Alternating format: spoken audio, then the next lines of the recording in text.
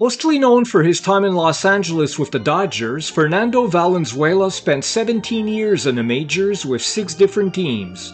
Fernando Mania hit North America in 1981 when Valenzuela was Rookie of the Year and the Cy Young Award winner when he helped the Dodgers win the World Series that season. His best pitch was the screwball, which he learned from teammate Bobby Castillo in 1979.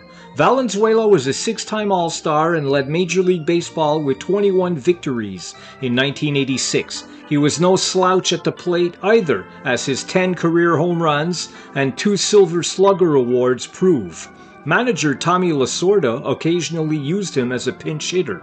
He pitched a no-hitter in 1990 against the Cardinals. His number 34 will soon be retired by the Dodgers organization.